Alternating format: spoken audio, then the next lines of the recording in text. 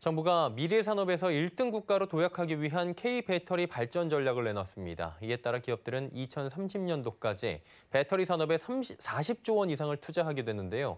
정부 역시 대규모 세제 혜택과 금융 지원에 나섰습니다. 정세미 기자입니다.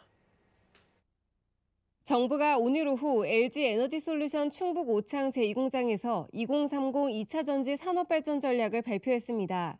이는 지난 5월 발표한 K 반도체 전략에 이은 미래 핵심 기술 지원책입니다. 핵심은 정부와 기업의 전방위 지원입니다.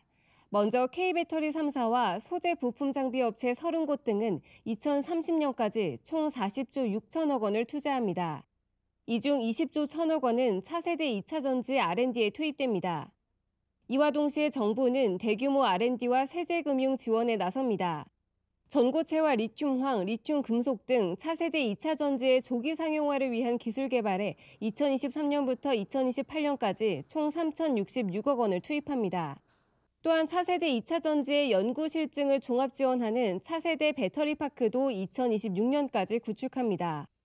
이외에도 800억 원 규모의 2차 전지 R&D 혁신 펀드를 조성하는 등 2차 전지 핵심 기술을 반도체와 함께 국가 전략 기술로 지정합니다. 전략대로라면 10년 후 우리나라의 2차 전지 매출액은 166조까지 커질 전망입니다.